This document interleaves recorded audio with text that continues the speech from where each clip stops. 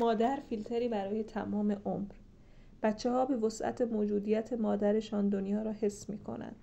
حتی وقتی در کنارشان نیست از پنجره یادآوری خاطره مادر به دنیای بیرون می نگرند.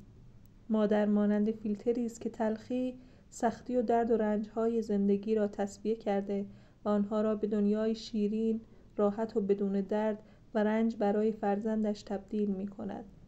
مادر فیلتری است که نه کهنه می شود و نه بیماری و پیری ذره ای از کیفیت تصفیه کردنش کم می کند. حتی خدا برای نشان دادن اوج صبر و عمق تسلی دادنش از مادر به عنوان سمبل تسلی نام می‌برد و می‌گوید چنان که مادر فرزندش را تسلی می‌دهد همچنان من شما را تسلی خواهم بخشید. اشعیا 66 13 خدا را شکر برای وجود همه مادران عزیز. جلیل سپه